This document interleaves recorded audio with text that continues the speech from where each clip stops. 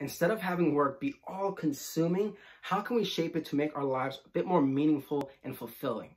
Hey DevNations BookDevs, Perez the Dev. Today I'll be reviewing Jonas Altman's Shapers, Reinvent the Way You Work and Change the Future. Jonas Altman teaches us that it is not only possible to leave work at the end of the day feeling fulfilled and rejuvenated, but it's actually what is needed to renew ourselves and our collective future.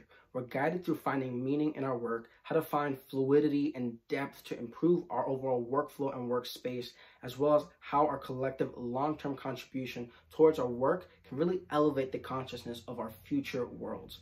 He shares with us many insights into the workplace, including the five new modes of leadership, virtues of boredom, and how boredom and idleness are actually really important when it comes to our daily creative flow, a 444 breathing technique in order to help us be a little more focused and relaxed in the workplace, as well as the top destroyer of meaningfulness and what we can do about it, and so much more.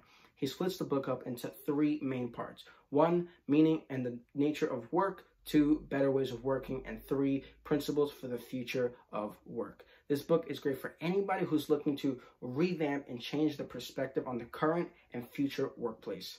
Thanks for watching.